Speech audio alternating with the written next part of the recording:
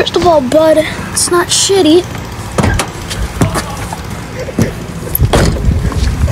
Um, I know it might look like a piece of shit, but all the parts for this shit is coming in a couple.